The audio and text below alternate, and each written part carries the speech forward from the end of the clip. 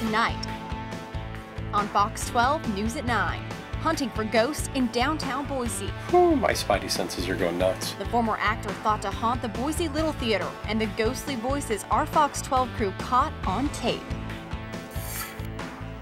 Don't let today's snow showers fool you. A warm front is headed our way. How much temperatures will rise and how long warmer weather will last tonight on Fox 12 News at 9. Ghosts in a Boise theater. Good evening, I'm Shane Wells. And I'm Dan Hamilton. As part of a Fox 12 Halloween tradition, every year we take on a ghost hunt, often in prominent Idaho buildings. And this year, Shane, myself, and photographer Jill Hardy were invited to check out the Boise Little Theater. And what we found just might surprise you. Boise Little Theater, well known for productions like Agatha Christie's The Mousetrap, Arsenic and Old Lace, and Barefoot in the Park. But these days, the building is gaining notoriety for its undead. It was a ghost, and three of us saw it. it was the stagehand of the theater for many years, Dwayne Holiday has had his share of run ins with a ghost.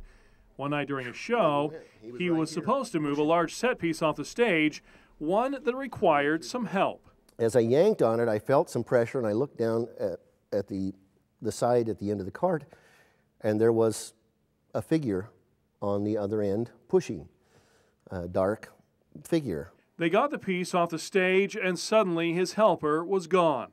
Several people saw the figure helping Holiday, and now all believe it was a ghost.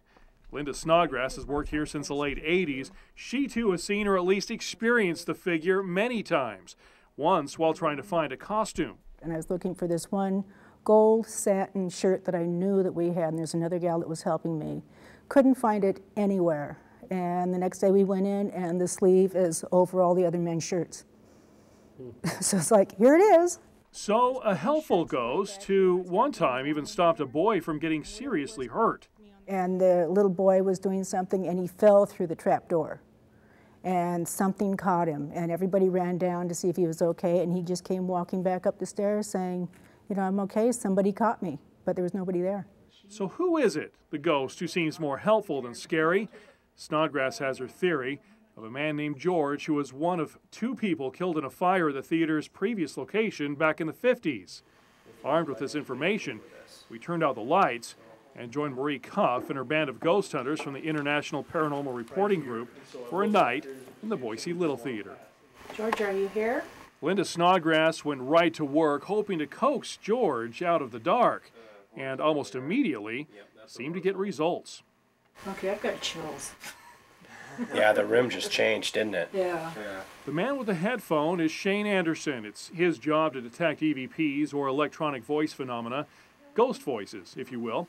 But he also asks a lot of questions, hoping to get those responses.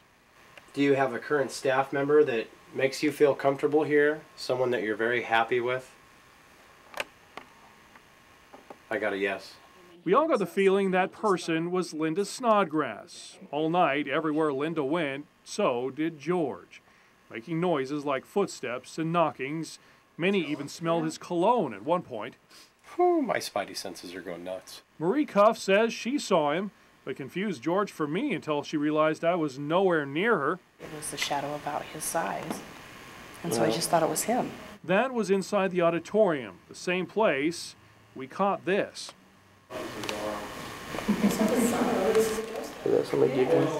Dan just laughed. What's interesting about this, obviously more than one person heard it.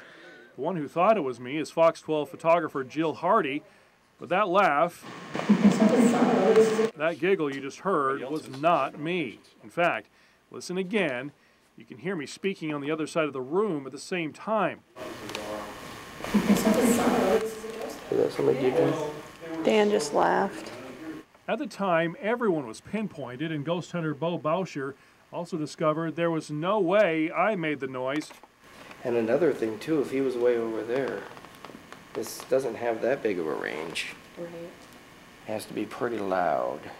Around this same time, Bauscher also picked up another voice. In the recording, you'll hear me again speaking in the background, asking if there's someone walking around backstage. A question that receives a bone chilling reply. We heard talking to people back there. There's a back there. This time, it was a hauntingly female voice. And there are some reports of people seeing a woman in this building, too. Yeah. But this time, she spoke. We heard some talking, the people back there, third team back there. These are experiences shared by several people at the Boise Little Theater. Experiences that may have even shocked these experienced ghost hunters. They've been pretty impressed with this place tonight. And one thing we all agreed on the ghosts in this theater, well, maybe startling at times, are anything but scary. We didn't get anything mean or, or nasty. It's, it's a really nice place to be. In fact, Linda Snodgrass has no intention of ever making them leave. Oh, they're just helpful. Now, there's no way of saying exactly who the ghosts might be, but there is some speculation they could be soldiers from Fort Boise, too, since that was right there in the same area.